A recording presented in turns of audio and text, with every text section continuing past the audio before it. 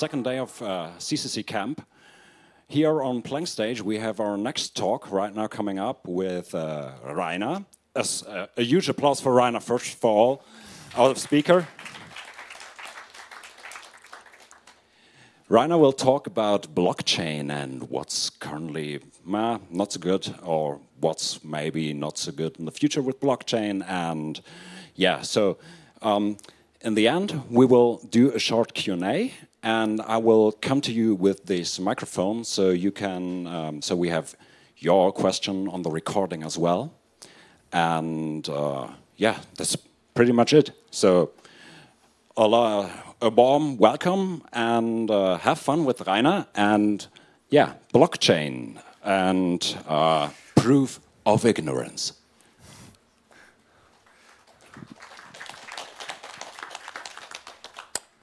Okay, hello everyone. I think now the slide will come up soon. That's the magic of technology, I guess. Um, yes, so this is one slide and it will stay like this. Uh, as I've mentioned in the program, uh, this will may have uh, some grains of a rant, so you can listen to me and there's nothing to see there. Um, okay, so blockchain, proof of ignorance. Um, I chose the subtitle uh, title with liberty and justice for some. Uh, maybe you know uh, the book by Glenn Greenwald, I think from 2011, where he analyzed the US system uh, where in the opposition to the constitution, uh, where it says with liberty and justice for all, he said, well, the system is gamed, and it's gamed in a way that there's liberty and justice only for some. And I want to make the point that this is basically the same with blockchain. So first to me, uh, my name is Rainer. Um, I'm a computer scientist researcher at the Weizenbaum Institute for the uh, Network Society, and I'm also here with FIF, uh, the Computer Professionals for Peace and Social Responsibility. We're over there in the village. And um, I've been talking about blockchain for more than two years now, and usually about the assumptions and uh, what problems should be solved with this or what problems uh, cannot be solved with that. Uh, if this talk is too witty or too cynical for you, I hope you excuse me. Uh, as I said, it's uh, supposed to be a rant. So what I'm talking about is, on an abstract level, a blockchain as an emancipatory and autonomy technology, which gives power back to the users and um, um, especially because it's, uh, it's, it's supposed to take away the intermediaries. I think you, you all know about that. And I'm uh, I'm pretty sure that a lot of you have a very critical stance on blockchain right now. Um, so probably my conclusion might not be new to you. Uh, but what what I try to do is to give you a larger reasoning why why this feeling you might have, or why those, why those um, insights you have from a technical, technical point of view um, are also valid from a, you could say, maybe more social science point of view. Um, and I will concentrate more on blockchain as emancipatory and less on the supply chain management things, although we can uh, it's only one hour. We can move this topic to the Q&A if you're interested in that, why I think that's not a good idea. So um, this talk will have three parts. First, I want to talk about industrialization and division of labor. Then I want to talk about blockchain and uh, autonomy or emancipation uh, of the of the end user, and then I will close with some final thoughts, and then we'll have the Q&A session. So first, I want to talk about industrialization and division of labor. Well, welcome. That's my Trojan. Now you have to, to, to listen to this. All. Okay. So let's talk about division of labor. Well, there has been the hunter-gatherer society, agricultural society, let's say maybe from 10,000 years ago, where people started staying in one place and, you know, the, the hunter-gatherer thing. There was no specialization in the way that we know it now. Uh, certainly, there were roles in those societies in the villages, but not in the sense of how we now in industrial societies we have like very specific tasks, even maybe broken down to one part of the screw, which is not even the whole screw to, to make that, for example. So the next step you could say is industrialization, uh, industrialization, where you would say maybe you could see the starting point in the mid of the 18th century, 1750s somehow, where some people would say uh, the start was the steam engine and such. This is usually the tech narrative, but um, in social science there are also other voices who say uh, industrialization actually came about because of mainly a reorganization of labor. Totaro Nino our writers that wrote about this. So that means you could have had industrialization without changing technology just because you reorganize and split up labor and then distribute it to different people. So it's, you know, that's just the other end, which would be a totally non-tech narrative. Um, well, of course, the truth is somewhere in between. It's usually intertwined. Uh, people create technology, then cr technology creates how people interact with each other, and back and forth. So it's it's oh, it's as usually I think a mix. So, but what changed? Well, at first, I want to look at the workplace. Uh, like uh, Riese somehow distinguished uh, three uh, dimensions where uh, work changed. First, we had standardization, so we could measure products, we could like uh, measure in the physical sense, but also in terms of quality. So we can say if we know um, the products are standardized, then you can split this up into a chain, and then you can say, okay, I replace this part, or uh, I use another part because uh, uh, the interfaces are somehow uh, standardized. Then we have specialization. So the creation of products uh, has been broken up into small and smaller steps from making the whole shoe into making the soles and the you know the top part and the laces and everything. So split it up um, to specialize and then have maybe higher quality and then uh, you know. And the third one would be automation. So if you have the specialization, and the standardization, you can actually start letting machines doing part of the work. Uh, in the case of the steam engine, was the physical labor that was uh, being replaced um, now we could say maybe uh, now the like the, the, the mental label is uh, is being automated as well um, by the use of computers, but this is not, this is not how it started somehow. So obviously society changed because of those kind of production methods. Um, well, the, with the specialization, the increased uh, in degree of details for each step. Uh, if you're Marxian, you would say, "Oh, this is the start of the alienation of the worker." So if you're not really you know, building, um, making the shoe and selling it to people, but you're just using the laces, you will never see the happy customer buying the shoe with the beautiful laces. So you're somehow alienated from this, the things you do and uh, not getting any social uh, feedback somehow. So, hence, society became more complex because, of course, uh, you have to organize this kind of labor and this kind of, you know, have the, the parts and then you reunify the parts again. You have to, so, so a special um, new class, like the bureaucrats were uh, created somehow, you know, the people with the ties who just only do the, the organization of labor. Um, and in the same way, uh, the products and artifacts also became more complex. Uh, if you look at it now, even shoes have this kind of, you know, the parts where the air is in, and then the other parts where, you know, protects you from from uh, rain and whatever. I, am not wearing shoes, so maybe that's okay. Um, so um, the alienation started from um, people from their products, but also people from each other and people with larger organizations where people work, where you don't even know really where's like who's the management and all this. So everything gets more and more complicated because of splitting up all the steps. So um, sociality somehow definitely changed from communities to society. What does that mean? Well, in the community, usually, you have individual exchanges between people who are seen as people. So you have your neighbor is not someone who provides a service to you, but it's your neighbor with their problems, with you know, with the whole personality somehow. So this is somehow how villages somehow worked. And if you look around in camp as well, um, you have the villages where people know each other and where people. It's not really the exchange of products, but it's more like being there together as as a group.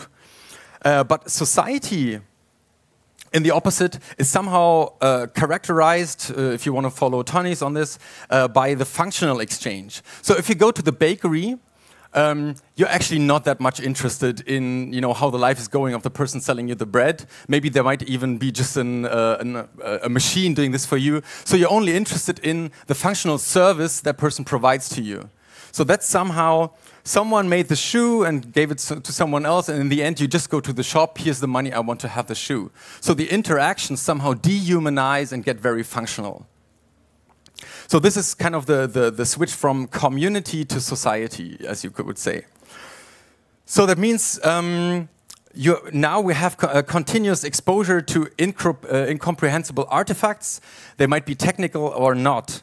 It's the same with, if you think about uh, as I said, you don't even know, maybe, maybe usually you don't even know where your bread comes from. You know, if you go to an organic shop and they show you, you know, this is the bakery, you can even go there. But this is not really how at the moment society largely works. And all these complicated products, if you think about cars, computers, condoms, water, socks, food, in all of those products, we are um, we're not experts. So we go to a shop and we buy something, and somehow we have trust that it will not poison us, it will not, you know, hurt us or anything like that. So what also um, what also came up as a change is uh, more and more power differences because not all actors in the society game are equally powerful. Of course, the individual, if you're in a community, you, if there's a problem, of course, you can somehow deal with a problem or with the person you have a problem with or anything. And if there's, if you can't solve it, maybe you go somehow one layer up, but you also know this person. So it's maybe the, the elderly person in the village or something, but you still know each other. But now with large organizations, if you have a problem, well, you get to the customer complaints and they all think our problems are really important to them and they will get to back to us as soon as possible. You know, you don't really, you don't really know what's happening. You're just interacting with the machine, if uh, so to say.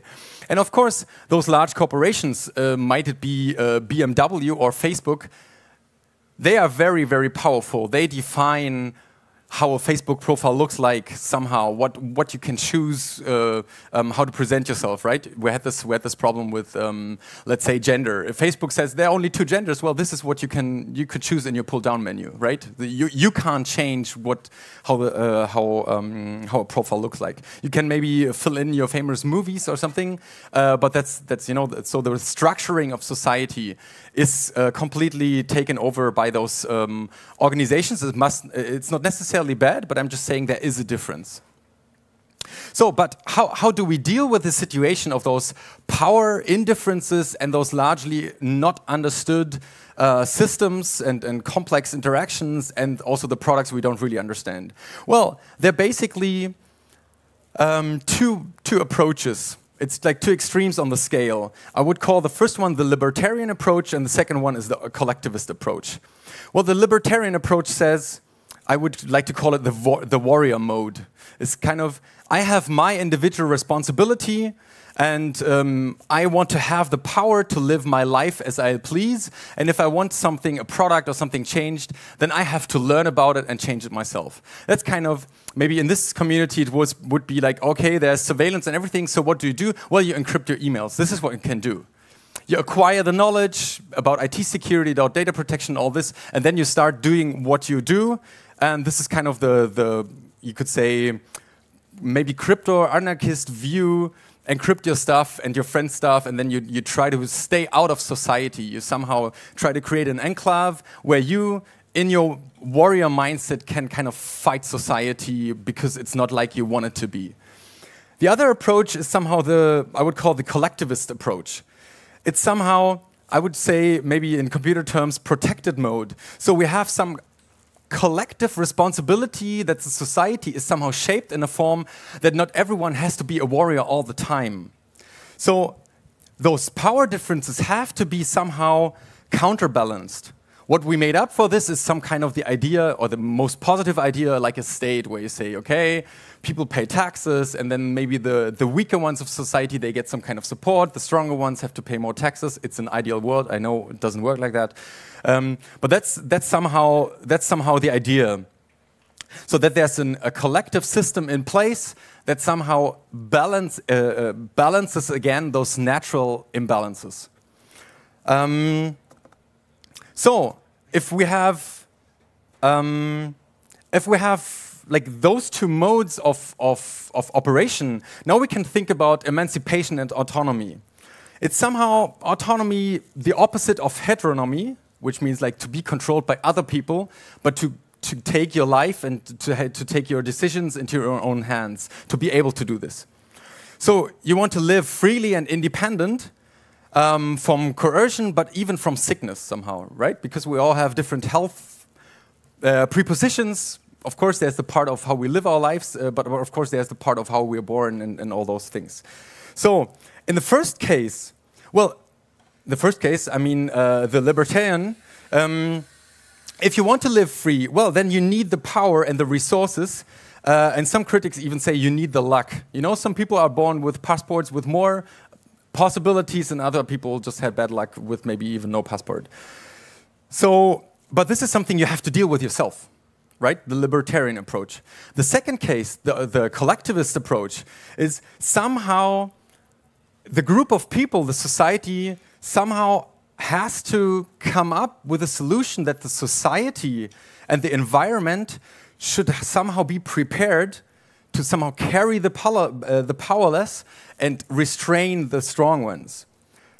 Well, some critics say it's only about raising the powerless, but that doesn't really work because the, the means to distribute are somehow limited. So if you want to support the powerless, of course, you have to take power from someone. So it's, it's, you could even say it's a zero sum game. So if some people say, well, the problem is not that there are so many poor people, the problem is that there are not enough rich people. Well, with one, one amount of money, of course, you can't make other people rich without taking the money from somewhere. You know, it, it, it doesn't, it, it's connected.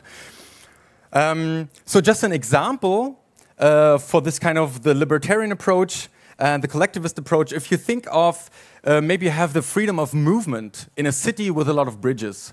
Like Berlin, for example, Berlin has more bridges than Venice, so let's take Berlin. So, the libertarian approach, what would it be? It would be well, you have to repair the bridges all the time, you have to learn how to swim, maybe you have to buy a boat, uh, maybe a big car that you can actually drive through uh, those areas where the bridges are broken, or maybe you have strong and important friends who somehow arrange things for you. Well, the collectivist approach would be well, we have to make some organization, create organizations whose responsibility is to take care that those bridges are in good conditions. Because not everyone is a bridge maker, right? So the main target of, of this organization is that you can actually exercise your freedom for, for free movement, which is based on the bridges being in a good condition. So that means just to say, well, you have the freedom of movement, the next question should be, but what are the preconditions? Well, if there's a lot of bridges, then the bridges have to be okay. Otherwise, this freedom will never be exercised or only be exercised by the powerful ones. Right? So that's kind of the libertarian uh, versus collectivist. So now let's talk about blockchain, finally.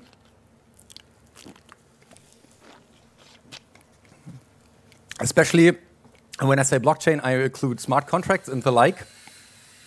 Um, what I will not talk about is permissioned or private blockchains, uh, because to be honest, um, I, as a computer scientist, and probably as you somehow are as well, um, permission or private blockchains, of course, are databases. Um, um, somehow, but really, really slow and inefficient databases. Because of course, if you say, you know, we have, we want to have a system where everyone can participate, and then you say, okay, let's have it uh, private or permissioned again, you have a power entity that decides who plays the game or who doesn't. So I don't want to talk about this. So I want to talk about the, the public immutable distributed ledger. That's the real thing. This is the only thing I would consider uh, a blockchain. So the promise here now is with blockchain, we want to have money without banks. We want to have consensus without notaries. We want to have a world without intermediaries. And we want to have a society without the need for trust if you think back to what I said before, this would be the trust into an organization that that organization actually takes care of the bridges. We don't want to have those in between things. We want to have, you know, only direct interactions.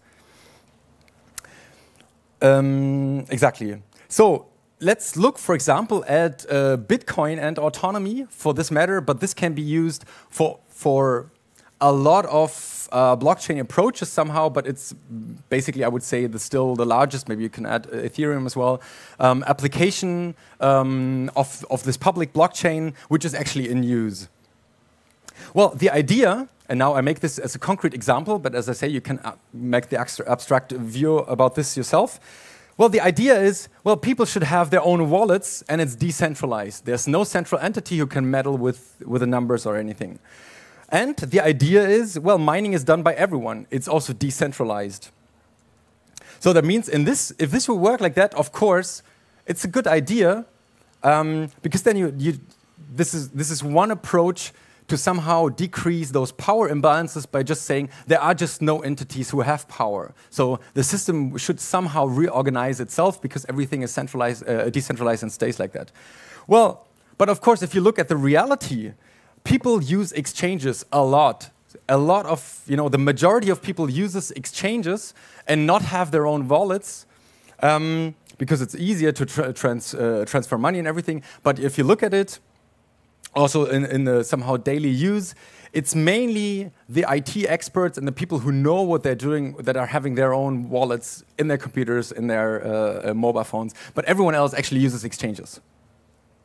And the reality with the mining, well, it's done by some big players. If you, you think of Bitmain, it's somehow around, depending on your, on your uh, on the estimations, 60% of the hash power um, somehow. So the mining itself, it also became centralized because of financial incentives, because of other reasons. But we have again a centralized system because there was no um, uh, no like built-in system uh, to keep it decentralized somehow.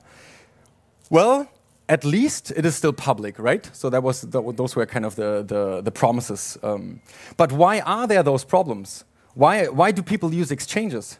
Well, obviously not everyone is an IT expert. Only those ex IT experts they can have wallets because if you have a wallet, what does it mean? Well, you have all your valuables on your computer.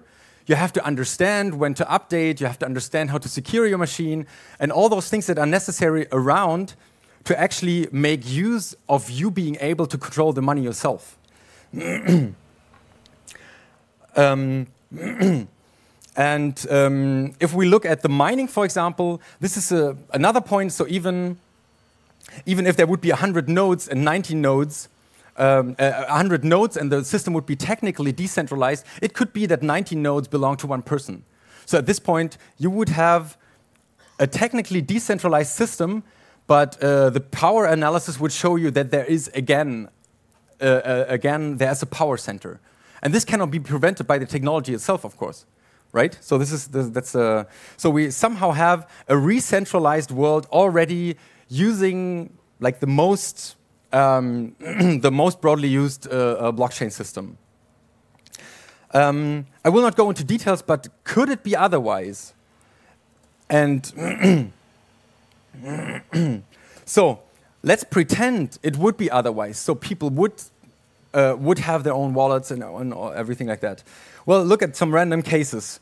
So, you have an insecure computer, your money was stolen. Well, in the old world, in the banking system, well, if there's anything happening, you know, uh, like like um, it's it's not always the case, but if some of the banks go bankrupt, there is a system in place that somehow says, okay, if one bank goes down, it will be supported by other banks. So the individuals usually, that's the ideal world, will not use their money because there are mechanisms in, pla in place that support comes from other ways. So it's not, it's not about uh, the individual now having to suffer that some banks went down. I know, 2008, complicated.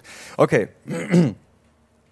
um, so sometimes, even if you have credit card fraud and whatever, usually there are some kind of, kind of insurances in place, and maybe it's a lot of paperwork. Um, but at this point, somehow, you get back what you lost, usually. Or if you say, for example, you have made a drunk transfer. I don't know if it happened to you. You're at night, uh, maybe at, ho at, home, you're drunk on eBay, and suddenly you buy some big machine or something, you know. Uh, um, or maybe you mistyped a transfer, something like that. Or you were forced to do a certain transfer, you know. Gun, gun on your head, that's the most obvious one, but maybe there are other reasons why you were forced to do this. Um, or maybe you ordered something and the damaged uh, and the goods delivered are actually damaged. So how, how do you how do you like revert a transaction? Well, of course, it's, it's immutable. You can't revert it somehow. So in this case, in all those cases, what I just outlined, the money in this example is gone.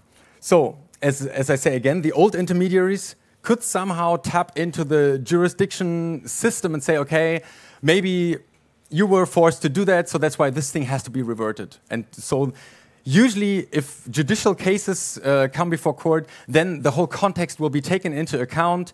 Uh, if there has been a contract, the contract is an express of your will. So that means if there's a dispute, then before court, this has to be negotiated. Was it your will and whatever and whatever. If you have, for example, smart contracts, what counts is what the program said. It might not have been what you wanted, but this is what counts. Um, or maybe you have a pension, uh, a pension smart contract, and you get uh, like in I don't know 50 years or so, you get all your money you saved and everything. Well, what is what if there's a bug in your smart contract? And I mean, we are all somehow closer or further away from programming. Um, sometimes I wonder why planes actually work, but you know, if there's something, if you want to write code that should still be working and valid in 50 years, good luck with that.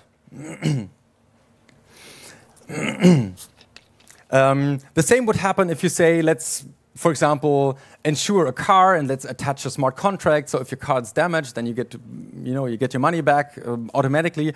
Well, of course, the first thing the insurance would say is, well, how do we know that the car was actually damaged? Then you would say, well, but there were some sensors, and so this has been reported back into the blockchain. And they would say, yeah, but are the sensors actually okay? We don't trust you. Maybe it was yourself. So maybe can you add some more camera proof that it was not yourself hitting the car? You know, and suddenly you see it's not about, oh, there's a damage, and that's why I get the money back. It's about what happened, who did the damage, how. What's the whole context of it? Was it really an insurance case or is it a case of fraud? But this is nothing in the scope of a blockchain that just saves what is. so, in all those aspects, what's up with the autonomy? It somehow seems that if you take all this into your hands and you secure your computer and you have everything around, it seems like you're pretty busy all day keeping this system up and running. So it's quite a busy thing to be autonomous, and of course it is. And I'm not saying one should not strive for it. I'm just saying we should reflect on the um, necessary preconditions to actually be autonomous. So I would say, uh, I would say, how free and self-determined can a person be if you're constantly thinking about not being poisoned, not losing your money, not being hacked, not being you know killed, and whatever, all, all those things? Well it seems like quite a lot of regulation and intermediaries have to be around for us actually to be free and autonomous. And that's a pretty, pretty interesting thing if you take the blockchain approach which says, well, let's get rid of everything around and then you can finally be free. And now it seems like, and of course I'm exaggerating a little bit, now it seems like all this regulation, and we can certainly discuss about this, is actually a precondition for being free. And suddenly it's, it's totally the other way around then we're not talking about the individual that tries to be free all the time, but suddenly we're talking about bigger structures creating the preconditions. And we can do this in a democratic way and whatever we want to do this, but this is about societal negotiation, not about coding and not about hacking and not about IT security. It plays a role, but this is not the starting point. And again, I mentioned the examples. Uh, think of condoms, right? If, if you would have this kind of your, your responsibility for everything around you, well, right now, you go to a shop, you get you get those and you're pretty sure, well, according to all, all, we know, you have a certain percentage that things work. But, but in this kind of blockchain thinking, you would say, well, there's a shelf and you have all kinds of, and it's written on there, you know, this is kind of 60% safe, but it's cheaper. This is kind of 90%, but this is a little bit more expensive. And suddenly you see, wow, now suddenly you have to be a latex expert uh, and a rubber expert to, to see which one you should actually choose. Well, and if you don't have such a big income, well, bad for you, then you have to buy the cheaper ones, right? So suddenly you, in all those aspects, you see how the environment somehow shapes how free you can actually be. and it's the same with food, with brakes, with water. You know, it's the same with car and brakes. I'm also not shaking my brakes all the time because there is there is a system in place that somehow says if your brakes do not meet this minimal standard, you should not go to the road. And this is not about myself because I can be sure that all the cars around me also had this check. You know, maybe you don't trust the drivers, but if you're honest to yourself, you trust the drivers. If you're on the motorway or even if you're on the bus, if you would think things will go, go wrong regularly, you would not take the bus. So you have this kind of trust all the time, everywhere. And now I find it pretty interesting to say, well, let's use some, um, let's apply some kind of technology that says, well, let's get rid of all the trust if you look around you and maybe today what you will do all day, just make this example to say, what would I now do if I would not trust those people around me? How, um, how much effort it would be all the time to secure everything. And this, this would be, I, I would consider this a very unfree world. So what I'm just saying, and this is kind of maybe the, the, the extreme uh, thesis here we can discuss later on, without those safeguards, autonomy is not possible at all. And it's not possible in any meaningful way. At least not for the majority of people. Um, so that means uh, those blockchain individualization efforts are actually working against the autonomy of everyone who's not an IT expert. And this is, this is a pretty, pretty dim vision if you think about it. so that means those who don't happen to have IT as their hobby or their profession, well, you better not be old or weak or busy, have other strengths or anything to guard your values and live your life, right? That's kind of the thing. so what I'm saying somehow, or the, the, the, the thesis I'm putting out here is somehow those kind of individualization efforts um, of the blockchain are actually somehow a rollback into medieval times, where the most, the things you think about the most is how to secure yourself and how to be in this kind of warrior defending yourself mode all the time. and to make it more, more like more imaginative, uh, you could say this is kind of hiding your own money under your pillow and then thinking, okay, how, where should I hide that people don't find it? and I would just say this is neither freedom nor autonomy. So now we finally understand why, why it makes total uh, sense for people to use exchanges. Because if their computer gets hacked, well, okay, it depends on did, did you store your password and everything, but somehow there is someone taking the job for you to deal with IT security, with all those measurements, to keeping the software up to date, which maybe most of the time they don't, but that's a different problem. Um, but I think you see, you see uh, what I'm saying here. It's not that people are actually lazy to use exchanges, it is just a world that uses division of labor.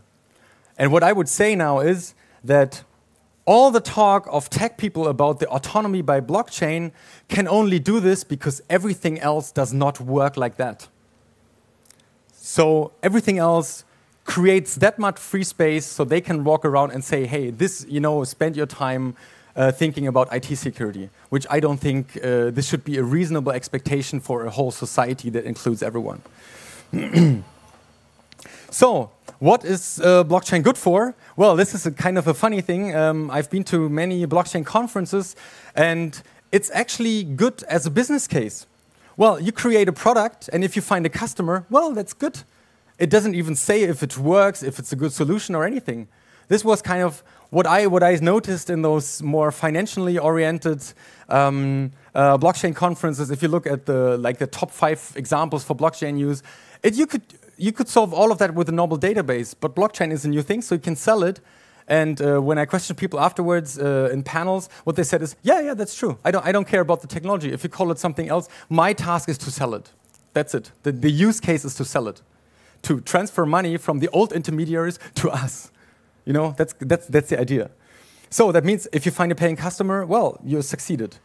and maybe uh, you could also say it's some kind of um, esoteric thinking, uh, where it's psychologically interesting why people actually want to get rid of those intermediaries and, and be free. So this is more psychologically interesting. And I totally understand the need for that.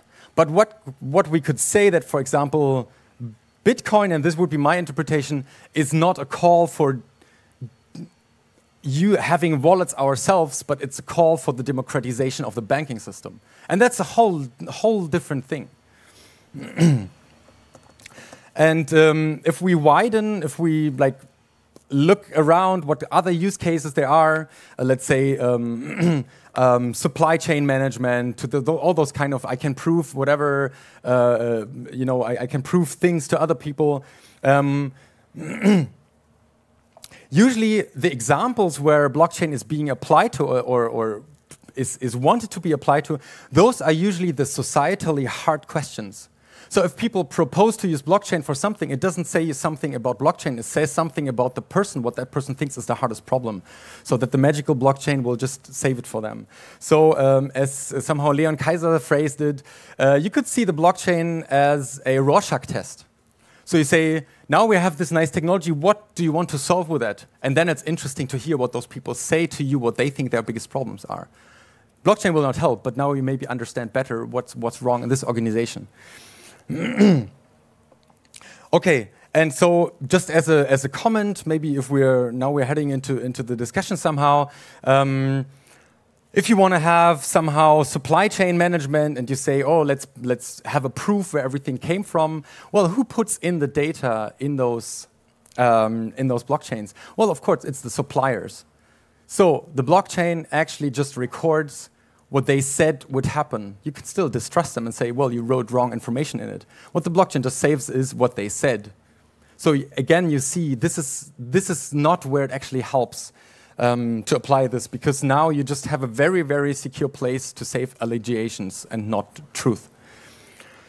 Okay, and uh, maybe as a last example, I heard, I, I heard um, uh, it's quite interesting if you look at a, a lot of um, situations where a blockchain is actually marketed to work, uh, then usually um, it's somehow the same as if you would say, well, we'd like to deconstruct this house. Let's drive again against the walls with an SUV, and eventually the building will collapse. It works, but this is not the technologically best solution.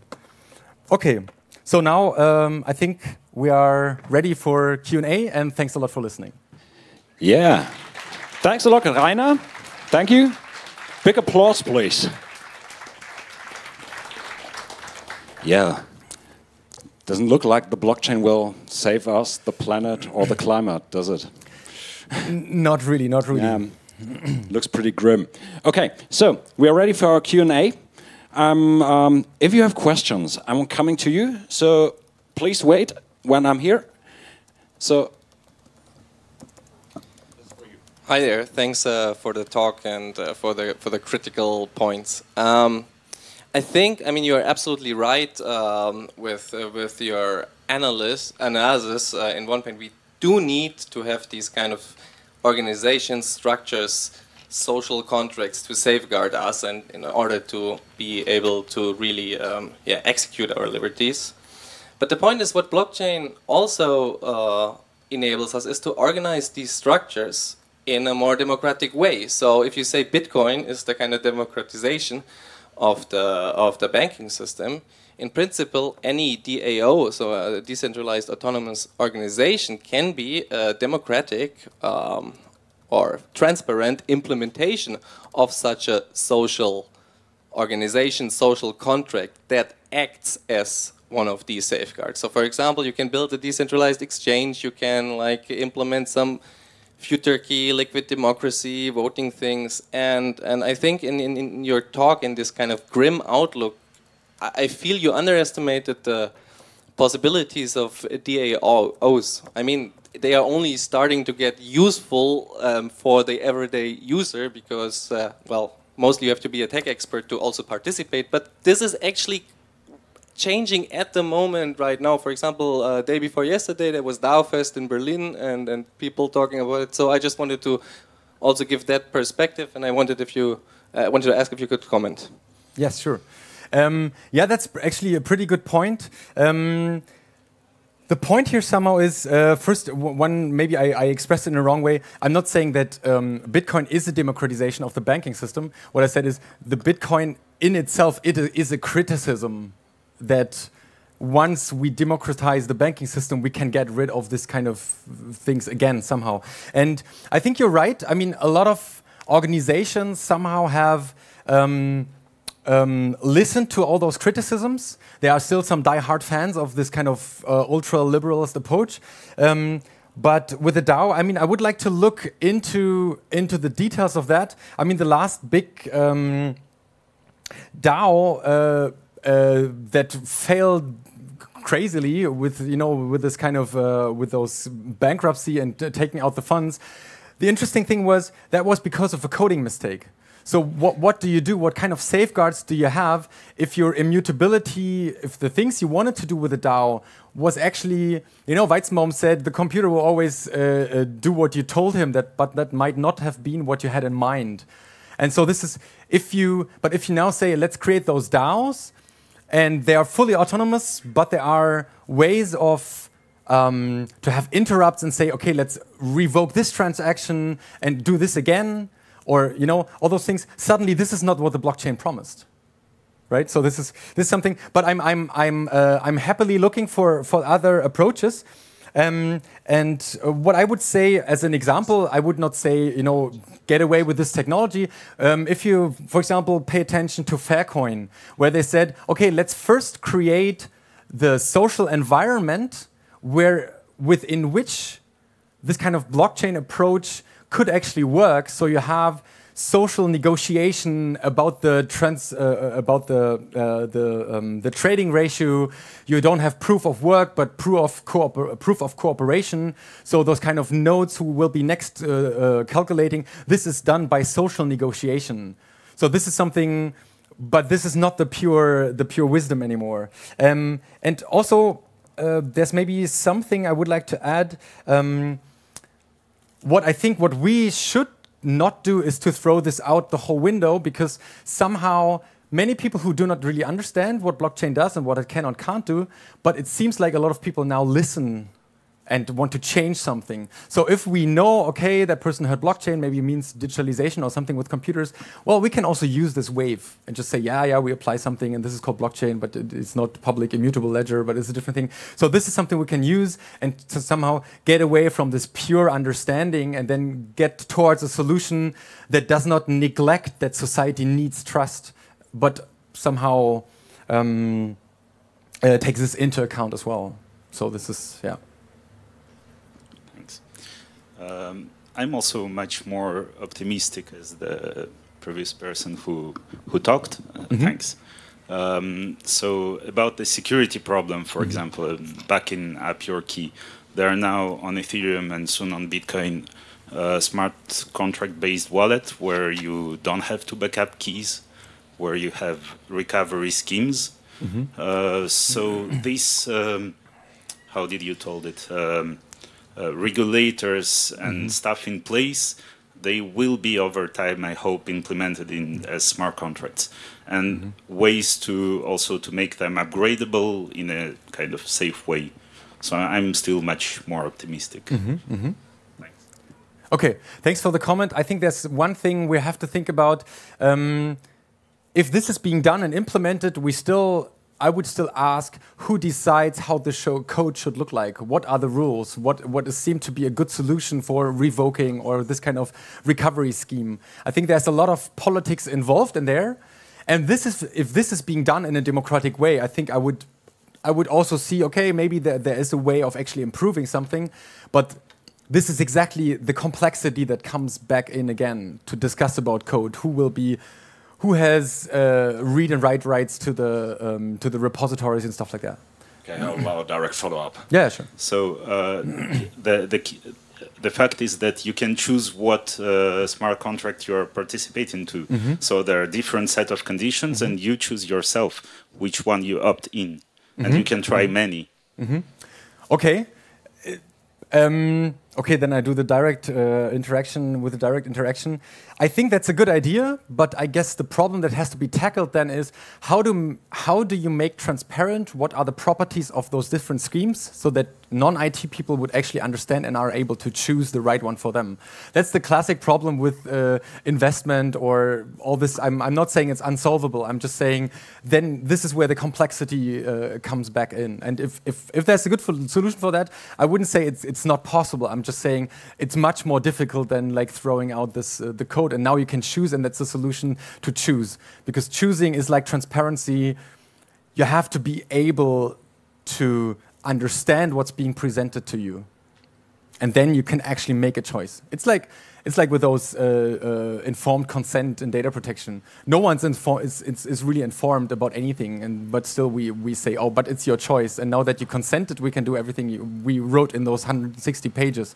You know, this is we have to think about what choice means, and this is yeah, as a as a basic um, thought for this.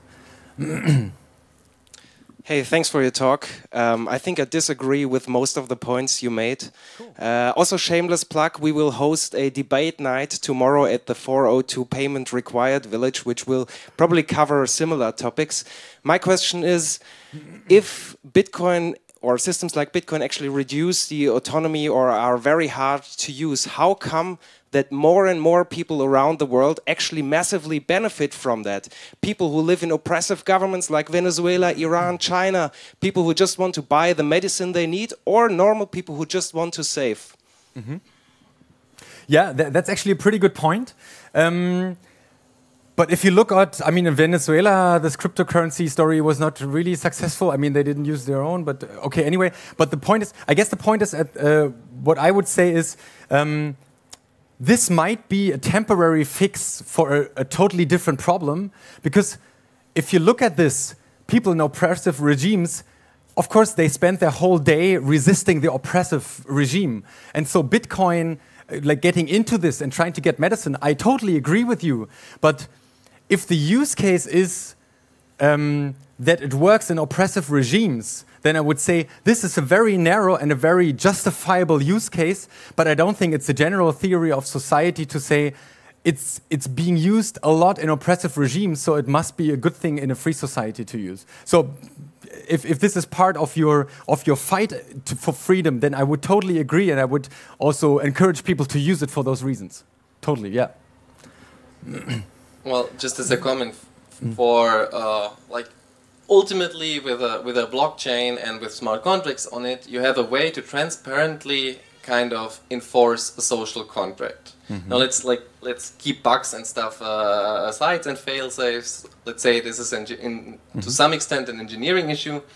Um, then you can use these blockchains to really enforce uh, to enforce social contracts. So then that, that means it's actually a possibility to go beyond oppressive regimes which offer some kind of social contracts to let's say to their citizens or some group like a facebook to their users or whatever and uh, but this is a way to transparently enforce it and with a perspective why everything is focused so much on defi decentralized finance well mm. ultimately we all have to agree that money is the largest social contract that we had at, have at the moment mm-hmm. and um, so like just a final example, two months ago, uh, a, DAO launched, uh, which is called the DX DAO, which um, basically governs a decentralized exchange protocol. And there, well, basically, the DAO itself is on chain, and the DAO itself has the key or the possibility to change the parameters of that uh, contract. And this such a parameter change that needs to be like proposed, and on chain people that uh, are part of the DAO can then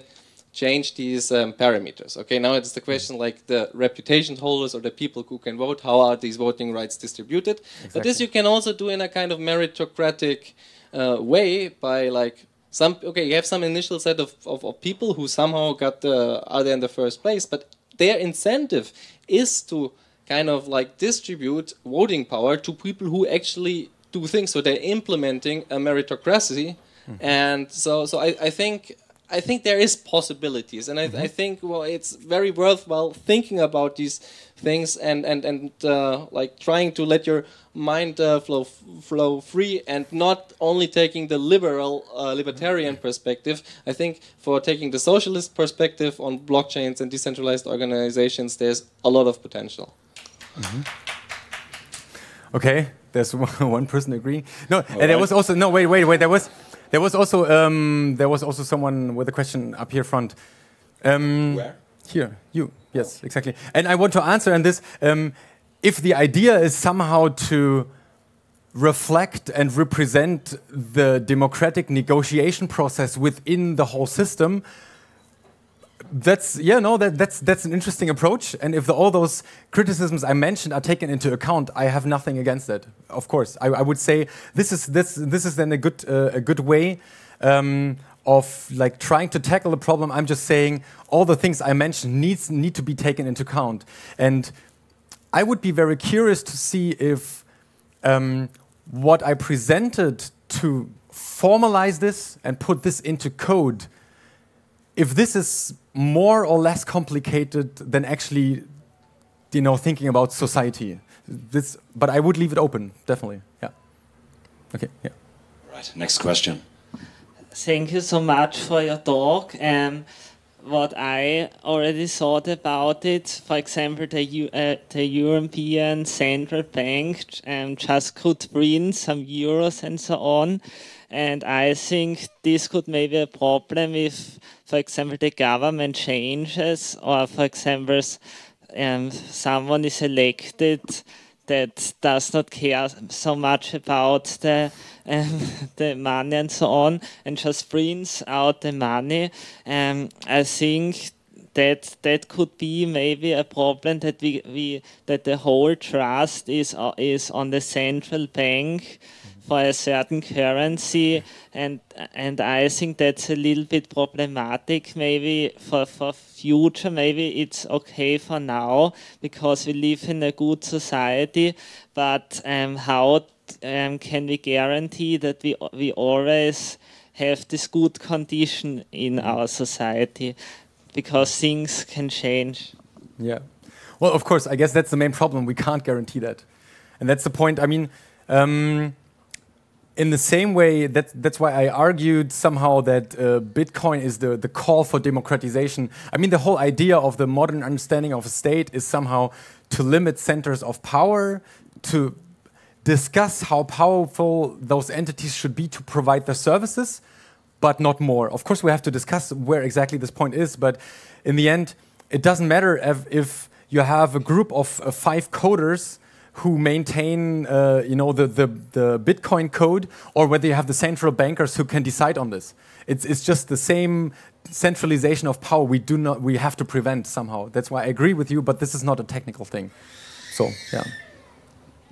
I would also agree with a lot of criticism you had, uh, but I would uh, say the conclusion should be a different one. The sh conclusion should be challenge accepted, and also like really what you said, like with this wave is going on now. There are so many extremely important experiments that are running, and if the whole thing explodes, shit on it. But it's all this what we learned, and all also this um, scientific approaches, and and like the shrapnel. If, if the rocket explodes, uh, let's take the shrapnel and let's take all the technology and, and gather the pieces, build something new.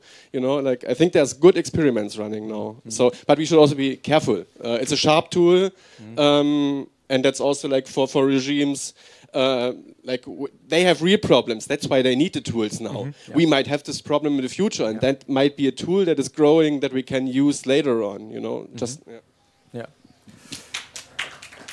Okay, uh, then um, as a comment to this, I would I'm totally happy and I'm always amazed with what kind of ideas people come up, and I usually get this kind of okay, but let's let's try and imagine and let go and all this. I, I get this in conferences as, as comments uh, quite a lot. What I'm just saying is.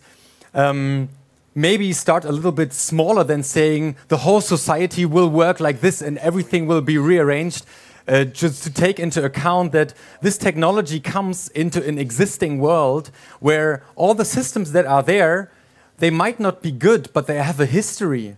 There's a reason why a bank works like that. It might not be a good idea, but that was a reaction of previous systems, and that was a reaction to previous systems. So if you want to overhaul the whole system. I'm, I'm all up for world revolution. You know, it's, it's, it's a good idea. And if it needs blockchain, what I'm, I'm in, that's fine. But what I'm just saying is um, we or like the, the blockchain scene should not jump into those societal discussion and say we know better. And you know you have been thinking about political theory for the last uh, 200 2000 whatever years and we know how the society should be reshaped and let's have some experiments. You know all this i'm just saying we should have those experiments but maybe start a bit smaller than leaving people on the way who are maybe not that tech savvy as we are. okay. All right. This, yeah, I think this pretty much was it. Uh, thank you for, uh, for your uh, participation. Thanks for your questions. And again, a big applause for Rainer here on stage.